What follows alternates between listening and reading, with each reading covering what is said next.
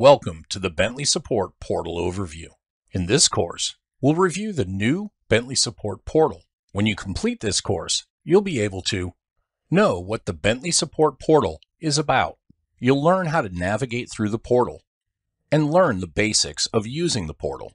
With the launch of Bentley's new Support Portal, you can quickly access our community's forums and knowledge articles to enable the ability to self-serve and troubleshoot software and other service issues as they arise. You'll also find information on any Bentley solution outages here and contact our support team directly by filling in a web form in case a question can't be resolved through existing answers in the knowledge base or the user forum.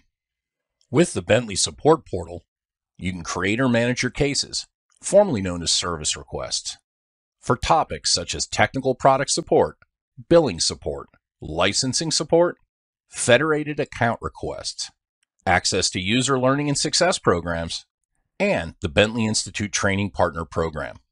To access the help desk system, log into https bentleysystems.service-now.com. Here in the middle, you can ask questions to Bentley communities, search the knowledge base, or check for any service outages.